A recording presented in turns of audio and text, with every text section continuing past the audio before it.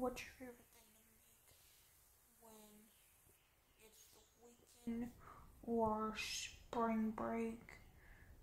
And um, me, I just started learning how to make candles.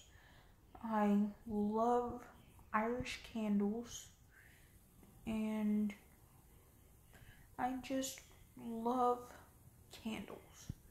Everything about candles I love. I love the colors in them. I love the smell of them. My favorite smell would have to be lilac and pomegranate. Um, another good smell that I have in my box, which I have not used yet, is like it's like a chocolate smell, but I don't know the actual name for it. But it's like a brown tube. And all you gotta do is like do four drops. And it's a liquid. So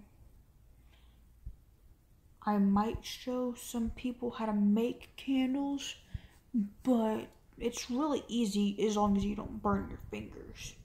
So, what's your favorite candle? What's your favorite colors? And what's your favorite smelling candles?